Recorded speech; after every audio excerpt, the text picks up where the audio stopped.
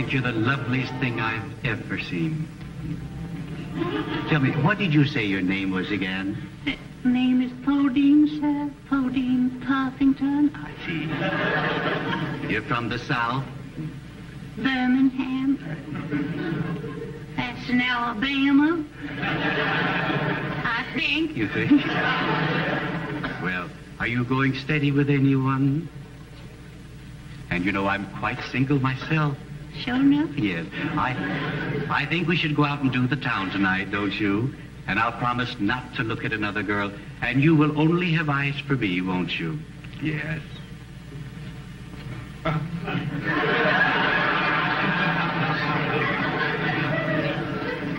Tell me, could I see you again Thursday night? No, sir, not Thursday. Well, why not? Because I'm getting married. Oh, I... About Friday. fine.